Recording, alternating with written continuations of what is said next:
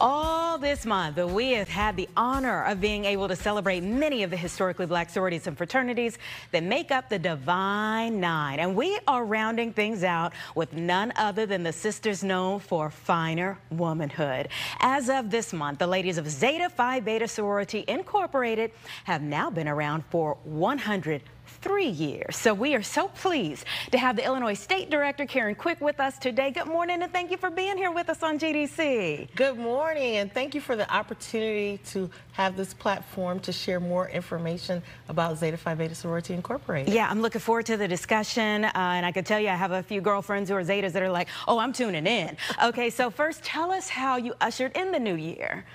Well, in the new year, we started off with our joint Founders Day. So we partnered with our Brothers of Phi Beta Sigma Fraternity Incorporated, and we had a huge Founders Day celebration in Tinley Park, over 480 attendees. Oh, wow. So we were excited about that to kick it off, uh -huh. as well as our service initiative for at that event was capturing um, funds to donate to each of our um, foundations for scholarship. Yeah, let's talk a little bit more about that service work. Uh, you all's theme this year for the sorority as a whole uh, is the International Woman, uh, serving and advocating for health justice at home and abroad. Can you tell us how you all plan to live that out here in Chicago and beyond?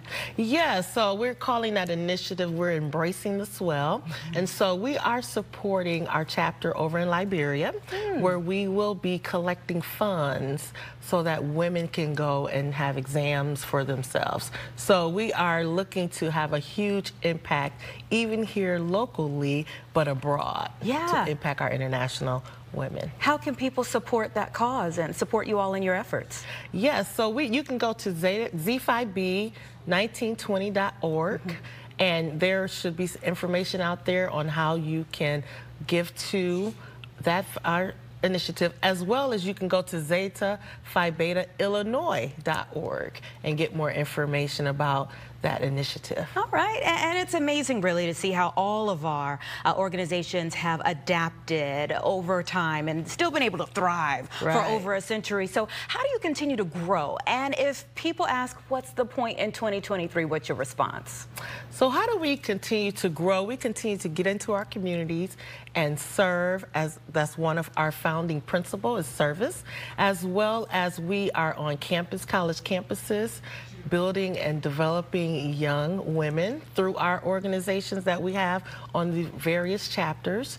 And then we also have uh, auxiliary, and we're first to have, and the only organization who has a auxiliary, and those are auxiliary is called Zeta Amici, and there are friends of Zeta. So they are women who have not obtained a college education yet, but they come alongside us in the community as well to do service. And so that's another way we ensure that we stay out in the community and the blue is out there showing up, showing out, and it inspires people to want to be a part of a winning team. Yeah, absolutely. And you all have had a winning team for a long time. Yes. I've enjoyed closing out each one of our segments this month, just showing uh, the reach of our sororities and mm -hmm. uh, mm-hmm. the beautiful legacies so many of us hold dear. Yes. A few notable Zetas include Chicago's own Grammy-nominated songstress Syleena Johnson, yes. uh, musical legends Dionne Warwick and Chaka Khan, and the eighth international president uh, Violette